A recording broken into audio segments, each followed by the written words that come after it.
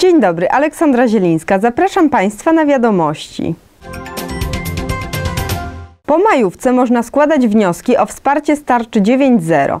Zwolnienie z opłacania składek za marzec i kwiecień 2021 roku oraz możliwość nawet pięciokrotnego otrzymania świadczenia postojowego. Zakłada najnowsza odsłona tarczy antykryzysowej. Wnioski będzie można składać od 4 maja przez platformę usług elektronicznych ZUS. 167 stulatków w województwie łódzkim odbiera co miesiąc świadczenie honorowe przyznawane przez prezesa ZUS. Wśród nich jest zdecydowanie więcej kobiet niż mężczyzn. Najstarszą emerytką pobierającą świadczenie jest kobieta w wieku powyżej 107 lat. Seniorze, sprawdź rachmistrza. Najbezpieczniejszą i najbardziej rekomendowaną metodą jest samospis internetowy przez formularz wyłącznie na stronie internetowej Głównego Urzędu Statystycznego, dostępny pod adresem spis.gov.pl. Osoby, które mają problem z dokonaniem samospisu internetowego, powinny zasięgnąć pomocy u członków rodziny, np. dzieci czy wnuków lub sąsiadów. Osoby, które nie mają dostępu do internetu, mogą spisać się przez telefon, dzwoniąc na infolinię spisową pod numer telefonu 22 279 99 99. Infolinia czynna jest od poniedziałku do piątku w godzinach od 8 do 18.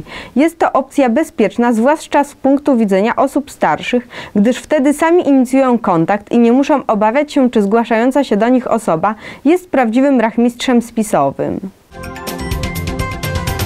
Z dniem 1 maja decyzją Andrzeja Bartkowiaka, komendanta głównego Państwowej Straży Pożarnej, do Krajowego Systemu Ratowniczo-Gaśniczego zostanie włączonych 7 jednostek ochrony przeciwpożarowej na terenie województwa łódzkiego. Będą to jednostki OSP Łękawa i OSP Magdalenów z powiatu bełchatowskiego, OSP Pniewo z powiatu kutnowskiego, OSP Łódź Wiskinito z miasta Łodzi, OSP Jedlno II z powiatu radomszczańskiego oraz OSP Hojny i OSP Walichowny z powiatu wieruszowskiego.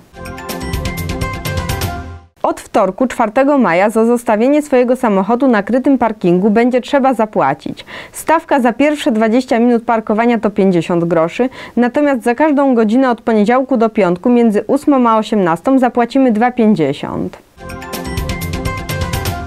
Deszczowy początek maja mocno dał się we znaki mieszkańcom podkutnowskiego Gołębiewa, gdzie zalanych zostało wiele posesji. Jak mówi radny Serenda, wszystko zaczęło się, gdy zakopano rowy melioracyjne, do których spływała spólwoda deszczowa. Woda teraz nie ma już odpływu i podtapia podwórka, fundamenty prywatnych domów wzdłuż powiatowej drogi na Gołębiewie. Z okazji 1 maja koło Nowej Lewicy w Kutnie tradycyjnie uczciło pamięć o ofiarach rewolucji 1905 roku z powiatu. Grup walczących znajduje się na cmentarzu parafialnym w Kutnie. Natomiast działacze Koalicji Obywatelskiej z Kutnowskiego Powiatu składali 3 maja kwiaty pod pomnikiem Józefa Piłsudskiego w Kutnie. Rozdawali również biało-czerwone proporczyki na ulicy Królewskiej. Dwie uczennice Liceum Ogólnokształcącego imienia Adama Mickiewicza w Żychlinie przy Zespole Szkół nr 1 w Żychlinie oraz trzy uczennice Zespołu Szkół w Żychlinie otrzymały stypendia Prezesa Rady Ministrów w roku szkolnym 2020-2021 na podstawie osiągnięć w roku szkolnym 2019-2020. Stypendium przyznawane przez premiera RP jest jedną z form wyrażenia uznania dla uczniów szkół ponadpodstawowych, w których nauka kończy się egzaminem maturalnym.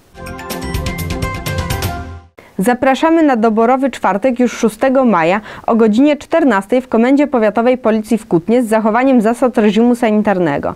Myśleliście kiedykolwiek o służbie w policji, ale nic o niej nie wiecie? Zastanawiacie się, co należy zrobić, żeby służyć w policji, albo czy nadajecie się do tego, żeby swoje życie związać z pracą w formacji mundurowej? Osoby zainteresowane spotkaniem są proszone o kontakt pod numerem telefonu 47 842 22 88 na sygnale. 36-latek był przekonany, że korespondował przez internet z dwunastolatką. Okazało się, że nie komunikował się z dzieckiem, tylko z łowcami pedofilów. 1 maja 2021 roku został zatrzymany przez kutnowskich policjantów. Mężczyzna usłyszał już zarzuty. Sąd na wniosek prokuratury rejonowej w Łęczycy podjął decyzję o dwumiesięcznym tymczasowym areszcie. Grozi mu kara do trzech lat pozbawienia wolności. 3 maja około godziny 12 doszło do makabrycznego odkrycia. Z rzeki Ochni wyłowiono zwłoki. Na miejscu zostały wykonane czynności procesowe pod nadzorem prokuratury. Okazało się, że ujawnione zwłoki to kobieta w wieku 50 lat. Ciało kobiety zostało zabezpieczone w prosektorium celem wykonania sekcji. Teraz kutnowska policja pod nadzorem prokuratury rejonowej w Kutnie będzie wyjaśniać przyczyny i okoliczności, w jakich doszło do śmierci kobiety. Koronawirus. Maj według zapowiedzi rządu ma być miesiącem luzowania obostrzeń. Od 4 maja otwarte zostają galerie sztuki i muzea, sklepy budowlane, meblowe, galerie handlowe, nauka stacjonarna dla klas 1-3 szkoły podstawowej, kult religijny, nabożeństwa z limitem osób, jedna osoba na 15 m2 w świątyniach, rekomendacja odprawiania ceremonii na świeżym powietrzu.